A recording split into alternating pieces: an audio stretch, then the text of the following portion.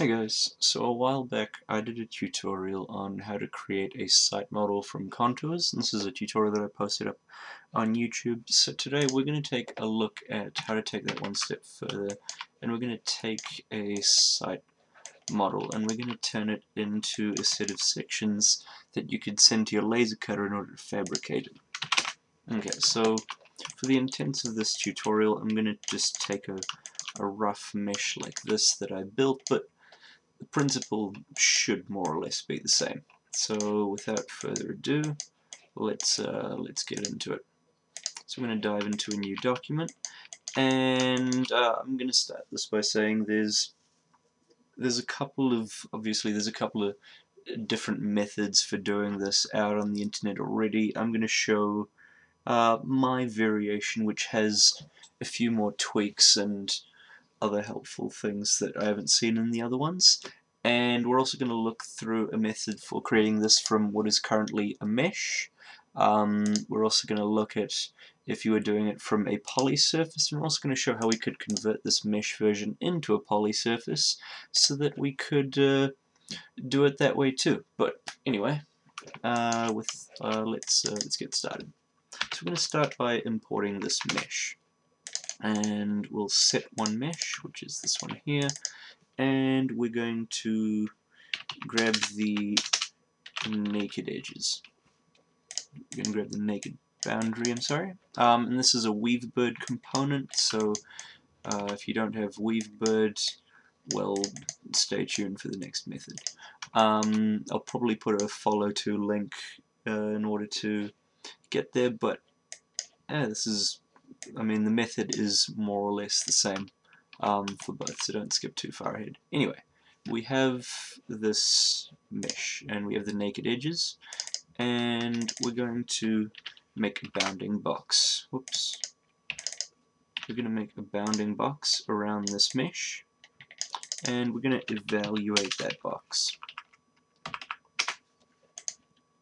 Now these evaluate box UVW coordinates are basically representative of x, y, and z. So we want to evaluate the box at 0 in the z, or the w coordinate, which is going to give us the bottom of the box, and u and v are set to 0.5 by default, so it's going to give us the center point. And so what we want to do is, actually, we'll just add in a little tweak, uh, one of the tweaks here, and uh, actually, I'll just show you what we're doing before we do that. We're going to use a project node, and what we're going to do is we're going to project all of these geometries to this plane here. Um, and we're also going to create one more project, which is going to project this mesh to the to the bottom as well. Okay, so what this is doing is this is taking the bottommost point of the mesh and we're just sort of creating a bottom layer, which um, may or may, may not be what you want. You might want a bit of thickness at the bottom, or you might not. If you do want a bit of thickness, we're going to adjust this um, this point or this projection point by using a subtraction node. Um, this is a really helpful tip. If you're moving if you're moving points um, you don't you don't actually need to use a move component because move and addition or subtraction of points and vectors actually do the exact same thing. So if I take this point and I subtract, let me just um, add something into here. Okay, so I want to subtract 10 units from here. So this is now sitting 10 units below where this point was. Um, and if I wanted to move this point in a negative direction, you can see it's giving me the exact same result. So um, this addition or subtraction value, this is so much more useful just because this uh, this way it's a lot lighter on your system. The move the move node does have a lot of sort of extra extra things going on which can make it slow down a bit. So yeah, slight tangent, but this method is better. And then we can just plug that straight into our plane over here.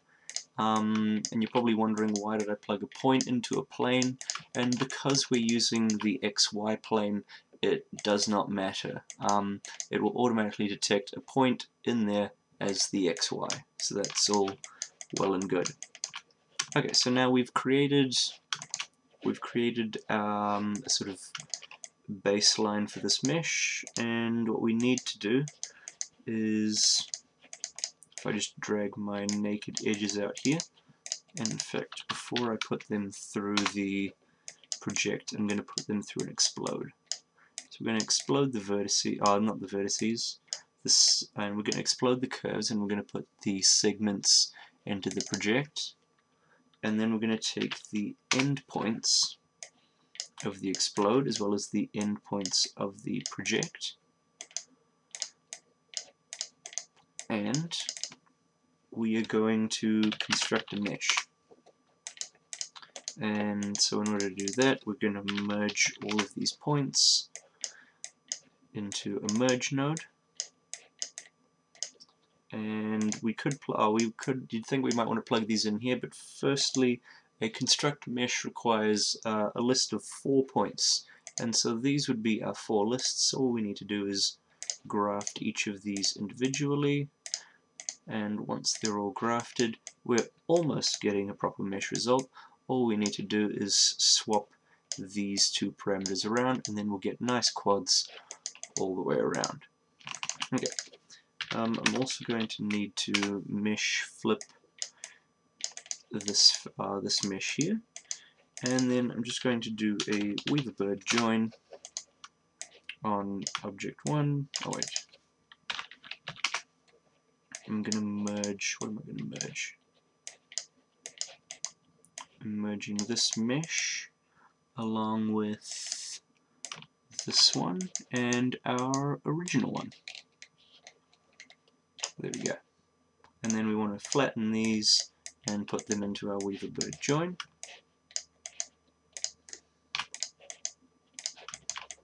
And just to make sure we've got a solid mesh, I'm just going to weld and weld my vertices using mesh weld vertices. This isn't an entirely necessary step, but I just like to do it anyway. Um, at this stage, if we were to bake this out, we could uh, we could also just check whether our normals are facing the right way. Um, once again, not a crucial step for the um, for the contouring process, but if you did want to actually use this mesh um, in, say, a render or something, uh, good little top tip here. Um, so the mesh normals are facing the wrong way. We can see that because we're seeing the back side of every mesh. So all we need to do is another mesh flip plug that in there and if I now bake that out you can see there we go mesh is all in order. Okay cool that's done. So now we can pretty much start on the contouring process. So what we're going to do is we're going to throw down a contour node which is this one here. Uh, make sure you do the one that is either a brep or a mesh and we're going to plug this into here and we're going to set a contour start point which is conveniently this point that we've created here the result of the subtraction which gives us the base point for our projection. So we'll plug that into here. Um, we're also going to set a distance value and at this point it is absolutely crucial that you check the scale of your um, of your file. You don't want to plug in too small a value here and crash Grasshopper because that'll just well that'll just mess you up and you have to start all over again. So it's better to start high and then work your way down. So I started at 10 and I can see it probably, you know what, 1 mil contours look like they would work pretty nicely for this mesh. So now at the stage I can preview off this mesh flip as well as the original mesh. You can see this is the result we're getting. Okay, so now what we've got is our series of contours, and you might notice that we've got 95 uh, contour results, but if you look at the paths, we've only got 51 paths. That's because sometimes the contour lines cut through multiple points on the mesh, such as these these contours here also, uh, they cut a contour line here and they also cut a contour line around the perimeter. And so hence we get multiple results per plane. So what we need to do is we need to figure out, we don't need to figure out, we need to um, we need to extract how many different contour levels there are. And the way we do that with, is with tree statistics. So tree statistics gives us the, um, or it gives us information about the tree. So all we can need to do is just uh, use a list. Oh, we don't even need to use a list length because it already tells us the number of paths and branches in this tree over here is 51. Cool. So now we can use that for a oh sorry for a series component, and this series is going to define all of the points, um, all of the planes that all of these contours lie on. So we set our count. We also set our um, our step size for our series, and uh, what we're going to do is we're going to add all of these points to our initial plane, which is this one here. And you can see that gives us a collection points at each and every contour height value. So that's exactly what we want. And so now that we have these, we need to define a, um, a way to array out these um, these contour planes. And the way we're going to do that is firstly, okay, so we know that we have 51 paths. So that tells us that we need 51 sheets. What we're going to do is we're going to create a rectangular grid. And this rectangular grid is going to start, okay, so it's going to start at world XY, that's absolutely fine and we need to size and size in the x and y direction for each of these. And so what we're going to use is our bounding box information. We're going to use a command called box properties, which gives us properties about our bounding box of the original mesh. And if we deconstruct the diagonal vector over here, it'll give us our x and y size. And so we could just plug that into our size X and size Y. But I'm just going to do one quick thing before that. I'm going to put down an addition node and I am going to put in a slider here with some value, make a copy of it, plug it into my Y as well, and this is just going to be a neat little way to give me a bit of padding around all of my values. You'll see what, what I mean in a sec. So I'm going to take all of this, move it over here, and okay, so now we're going to use an orient component. And before we do that, we're just going to use a shortest, oh no, we haven't set how many, uh, how many planes we need for our rectangular grid. So we, so if we know that we have 51 planes through here, we need some sort of way to get 51 orientation points out of here. The way we do that is we're just going to create a little expression which is going to be the square root of x, x being this value here, and then when we plug this in here and here, it'll give us, or it'll probably give us too many planes.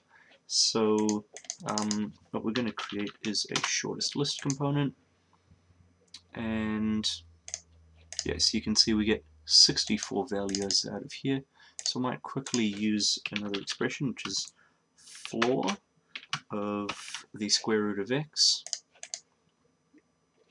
which is just going to give us it's going to give us the same thing okay we don't need to worry about that then so we'll flatten the input in here sorry, we'll move it to here. We'll flatten input 1 and input 2. And then on this side we want to graft them because um, all our contours are laid out on individual trees. So our contour follows a data structure. That data structure is reflected in grafting these values. So graft A, graft B, plug A in, plug B in, and then we get our result. And so you can see that what this shortest list component does is it just trims any excess off the uh, back of our list of all these additional planes. So I'll preview that off and now you can see this little padding component that I've, oh, this little padding function that I've added here just gives you a little bit of spread between each of your planes. Neat little way to add that in. And there we go. So this is, I mean, this is how you can create a contour, or this is how you can create a contour file using a mesh. Now, okay, let's uh, let's go and take that a step further. Okay, so we've got this mesh, um, and what I'm going to do is I'm just going to create a plane from corner to corner. I'm just going to create it like this. Because let's say we wanted to, we've, we've created our like entire site model and we only want to crop out like a smaller region of it for our actual site, for our actual um, contour model that we're making. So what we're going to do we're going to bring in this surface.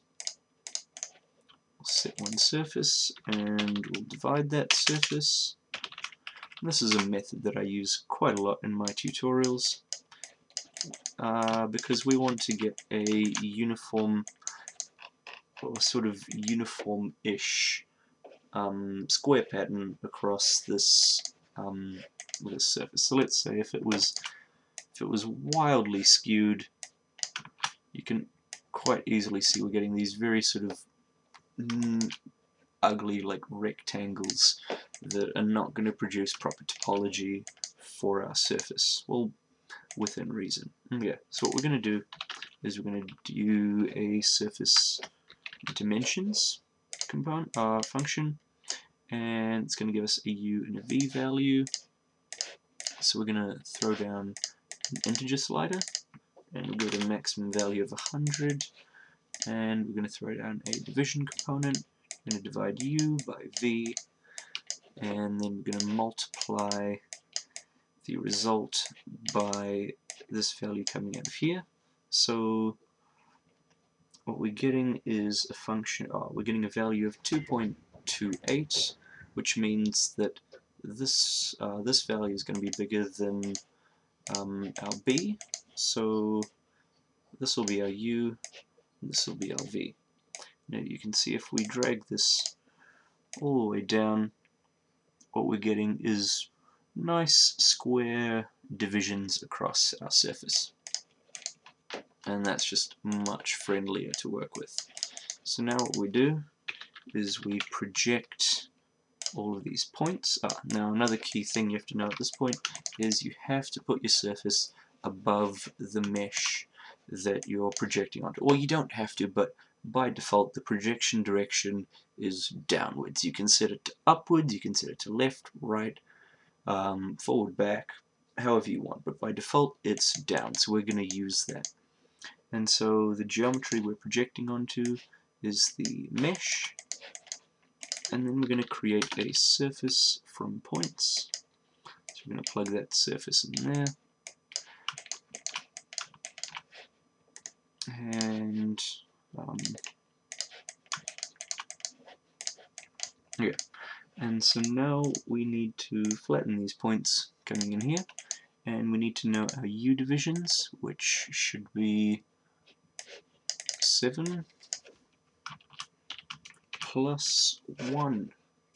Um, this is something I go over and basically every single time I talk about this because people always ask me um, if you're doing if you're doing an divisions um, if you're ever doing a surface division, it's always going to give you one more um, one more point than the number of points you typed in here. So you can see I've given a value of 7, and each of these paths has 8, um, eight values inside there. So we need 8 coming out of here. So 8 goes into our u, and we're getting some some sort of strange result. Let's try. Ah, okay. I might also just make sure that this value coming in here is an integer. Okay, no, let's try this one. Okay, so ah yes, of course that's my u value, not uh, not this one. This is my v. I can see that because that's plugged in there. Anyway, so we've got our surface, um, and we need to turn it into a solid. So what we're going to do is we're going to once again we'll, we'll make a bounding box similar to what we did here actually. We could just make a copy of this. Actually, no, I'll redo it. So we're going to make a bounding box around here. We're going to evaluate that bounding box, find the lowest value of the bounding box, and then we're going to just move that value down ever so slightly using our slider again. And we're going to do a subtraction. So we're going to subtract from this point. Whoops and then we're going to project so we're going to project this surface down onto this plane. Okay, so there we go. Um, that's once again just controlling our height below the, um, the, projection in case you want just a slightly smaller section, or just in case you want a bit of base to your model. You may or may not. Either way, we've got it. So now we've got the projection, and what we're going to do is we're going to merge our original surface, which is this surface grid here, and we're going to add the projection into there. And we don't need D3. And then we can actually loft surfaces together once these are flattened. Top tip in case you didn't know that. And then all we need to do is a B-rep join between these and these and yep okay so now when I preview all of this off and all of this off as well what we should get is a closed B-rep yes excellent and so now I might want this to give me a bit more of an accurate result so I can bump up my divisions.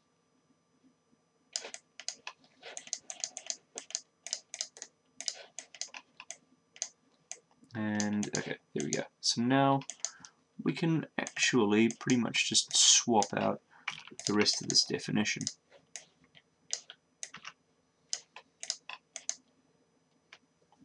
Okay, so we're going to plug the B-rep into here, and because it's B-rep, it's going to take a bit longer to um to load, just because they can be quite a bit heavier than meshes in terms of computational power.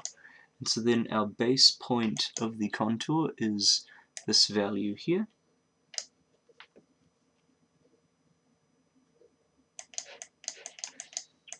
And then, okay, so now our size of the um, of the rectangular grid has to be slightly different. So if I just preview this off really quickly, you can see getting huge spacing between there, because what we need to do is, well, firstly make a copy of this, and we'll just drag these back here, and so we're going to plug our U and our V in to replace this deconstruct vector, and then we'll drag it back over here. And we'll replace our size X and size Y. And there we go. There is our, or there is our contour, or our set of contours ready to be laser cut.